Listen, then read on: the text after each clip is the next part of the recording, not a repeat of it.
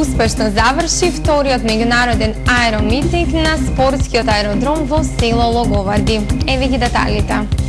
Втор летачки собир на територијата на Република Македонија оваа година за прв пат од меѓународен карактер со присуство на голем број пилоти од сите аероклубови од Македонија, приватни пилоти, подобранци и останати ентузијасти, а покрај нив специјални гости и припадниците на воздухопловниот винг на Република Македонија.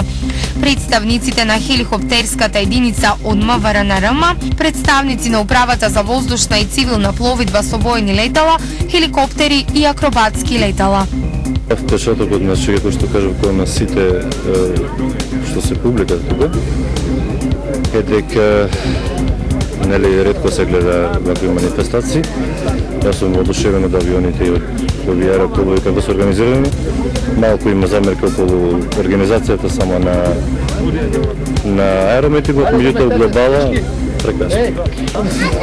Учев во бивша Југославија, таму и завршив првата бука на авиони и така се почна и моментално сум на нешто најдобро што го има нашата армија моментално, тоа Ми-24 скокови со бран, воено-маневарски лет со хеликоптер, акробатски летови со авиони злин и со едрилица. Помеѓу воздухопловните средства, граѓаните можеа да видат и повеќе летало од Министерството за одбрана и Министерството за внатрешни работи. Самите акробаци треба да големо искуство за лице, треба да имаш одредени сати, јас ги имам околу 600 сати 600-650, и воено сум и првак на Македонија на 4, 4 години со така да искуството кај мене е Голем. Застапени беа УТВА 75 спортски авиони, злин акробатски авион, воен хеликоптер Ми-24, воен хеликоптер Ми-17, ултралесни авиони, моторни едрилици, безмоторни едрилици, Сесна 172, УТВА Бебе, падобранци. Направихме еден скок и супер е да ви кажам.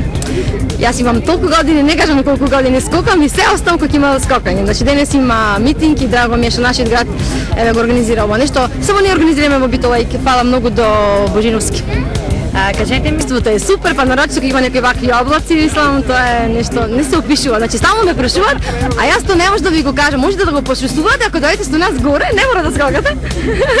па повозете се малце. Да, и оние кои не успеа да стигнат на спортскиот аеродром во село Логоварди и да уживаат во оваа гледка, не беа лишени од ова задоволство со оглед на тоа што леталата прелетуваа и над Битола. Целиот настан беше од огромна важност за промовирање на воздухопловството во Македонија, аероклубот и спортскиот аеродром во село Логоварди.